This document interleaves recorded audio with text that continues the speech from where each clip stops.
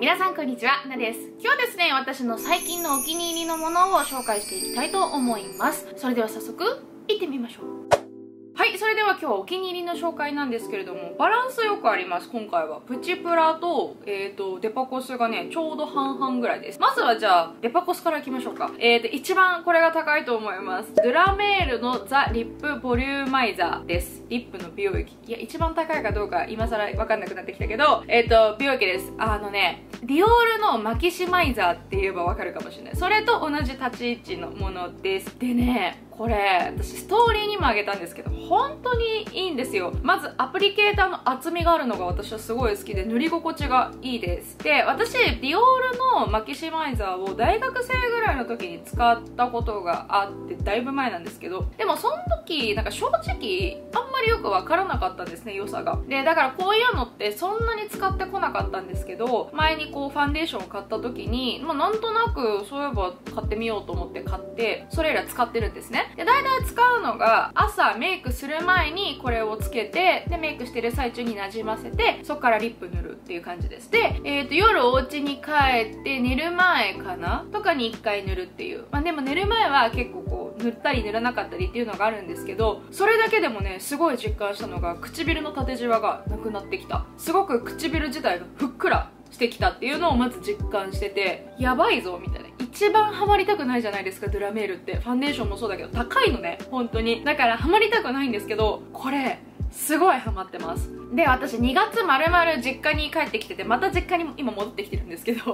はい3月も。まあすぐ帰ります。もう下旬からちゃんと東京に はい戻って住むんですがで2月がほとんどこれを、えーと、使ってなかったの。なぜならば東京の家に置いてきちゃったから。で感じたのが唇が違うぞみたいな。いつもみたいに張りがないっていうのを感じでやばいと思ってこの前一時帰宅したんですけれどもその時にこれを持ってきました。でやっぱ使うようになってからまた唇がだんだん戻ってきたのでこりゃすごいですね。本当に。あの唇のこう張り感がない方縦じわに悩んでる方とかはぜひ使っていただきたいです、まあ、もしかしたらその大学生の時にマキシマイザーを私が使ってなんだろう効果が実感できなかったのはその頃唇に問題がなかったからかもしれないとは思うんですけどでももうこれを使ってしまってこれがいいってなったらなかなかこう別のものにこう切り替えて検証する気がなかなか起きないというかでもまあ多分近々マキシマイザー買ってる自分も想像できるんですけど、まあ、矛盾がすごいんですけど とにかくいいです。これはね本当ハマりたくなかったけどハマってしまったものでした。そしてデパコスもう一個は結構私の1年前2年前ぐらいの動画でバンバンバンバン紹介しているのでその頃から動画をご覧になってくださってる方だったら、えー、とご存知かと思います。資生堂のシンクロスキンティンティッドジェルクリームという、まあ、ティンティッドのファンデーションです。これはね以前ベストコスメにも選んだかな？いや選んでないかも。いや選んだかも。上半期ととかに選んだかも。ごめんなさい。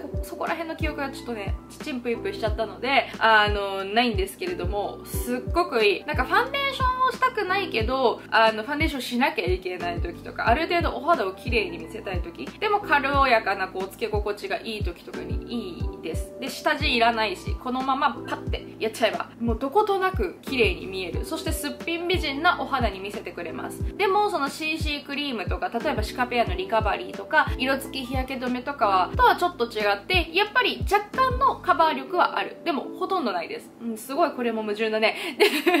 それよりはスキンケア製品で色がついてるものよりはカバー力はあるけどファンデーションほどはないのでなんかちょうどいい感じ。一番こう日常使いしたいなっていう感じです。でジェルフォーミュラなのですごくつけ心地も軽くて伸びも良くてあのねなんかつけてない感じにしてくれるようなはいつけ心地だしお肌を本当に綺麗に艶やかに見せてくれるくれるので大好きです。結構こう減ってるのからも皆さんお分かりいただけると思いますがこれほんと好きなんですよ夏によく使ってたんですけどなんかこの時期でもね最近全然使用しても乾燥とかも全くしないので、まあ、今お肌の状態がすごくいいからなのかもしれないんですけどこれはね一年中使えるぞっていうのを最近思ったので結構使ってます。その実家にいる時とか、まあ、基本すっぴんなんですけどちょっとお友達とランチするとかちょっと母親とお茶行くとかなんかちょっとお出かけする時とかにこれを使って例えばデートとか夜ご飯行くとかあとはちょっと友達の飲み会っていう時はもう一個ドゥラメールのファンデーション持ってきてるのでそれでこう使い分けてはいるんですけどなんか毎回こっちすごい使うたびにあいいなって感動しています。そして次はプチプラですね。まずはこちらデジャブのアイブロウカラーっていうえっ、ー、と眉マスカラです。今プラザ限定で先行発売確かしてると思うんですけどもそれの2番ですね。すっごいの。まずちっちゃいしこのゲジゲジくんブラシのゲジゲジくんがあの長くないのでまず何と言ってもつかないつかないつかない地肌につかない。そう。あの結構私見ていただくと分かるように眉毛がしっかり生えて生えてるんですね。そう。だから眉マスカラつける時ってもう本当にしっかりつけ軽くつけるんじゃなくてしっかりつけるんですよ。でもしっかりつけるとやっぱり通常の眉マスカラだと地肌についたりとかいらんところに結構ついたりするのが、まあ、ちょっと嫌だなと思っていてでもまあ私の眉毛いっぱい生えてるからしょうがないって思って割り切って使ってたんですけどこれはね絶対につかない。もうガシガシやってもつかないしあとやっぱこうブラシがちっちゃくて小回りが効くので細かいところとかこういうさ眉尻とかって結構ブラシ大きいと綺麗につかないことあるんですけどそういうところでもしっかり塗れるしなんかね眉もパキパキにならないしすっごいいいです。本当にいいです。これはねハマりそう。マックのもちっちゃくていいんですけどマックのは割とパリパリするんですね。でもこれはねパリパリにならないからすごくいいしプチプラだしっていうのですごく使いやすいので私結構髪色コロコロコロコロ変えたりするのでこれは多分ねもう今後全色持っておきたいなって思っています。そして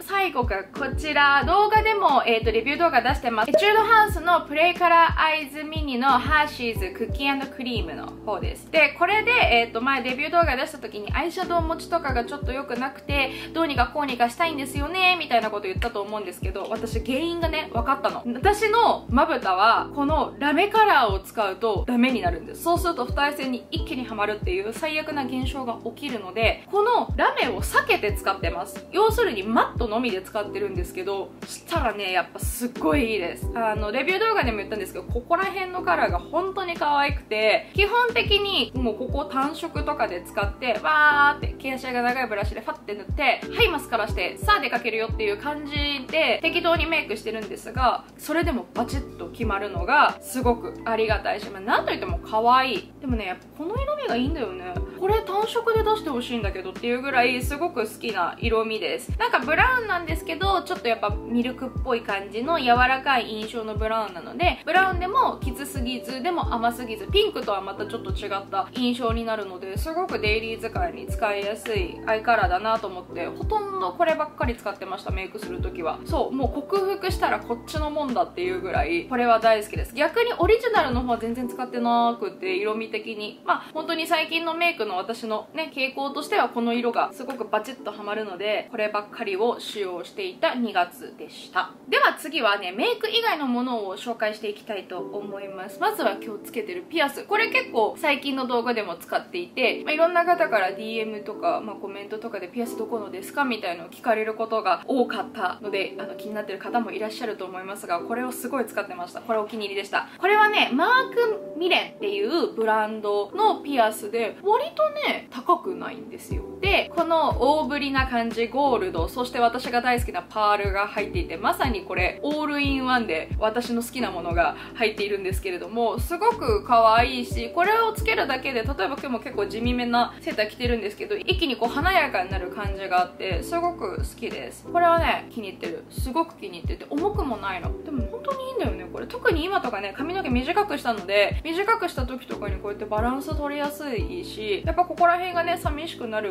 のでね短くすると。その分ここが華やかになっていいんじゃないかなと思います。ます。でこれに関しては、えーと、PR でねいただいてしかもこのクーポンコードを発行していただいたので多分あると思う。あのちょっと PR の方からの LINE あさって見つけたらクーポンコードも下に貼っとくので合わせてよかったらチェックしてみてください。そして次はねじゃじゃーんこれ帽子なんですよ。オパックかな？どっかで買ったやつなんですけどちょっとリンク見つけたら貼っときます。あのキャスケットがずっと欲しくてでも私そんなに帽子かぶらないからいいのじゃなくて安いの買ってみようと思ってこれ2300円ぐらいで買いました。めちゃくちゃいいの。ほら可愛くないですか？私これでねプリも取ってねプリ乗せとくね。そうなんか髪の毛セットするのめんどくさい時とかあもうちょっと長かった時とか。そうそういう時とかなんかとりあえずなんか顔に今日花がないぞっていう時にこれをめちゃくちゃかぶってました。すごいね気に入ってる。帽子あんまりかぶんないんですけどそうこれからちょっと集めていきたいなって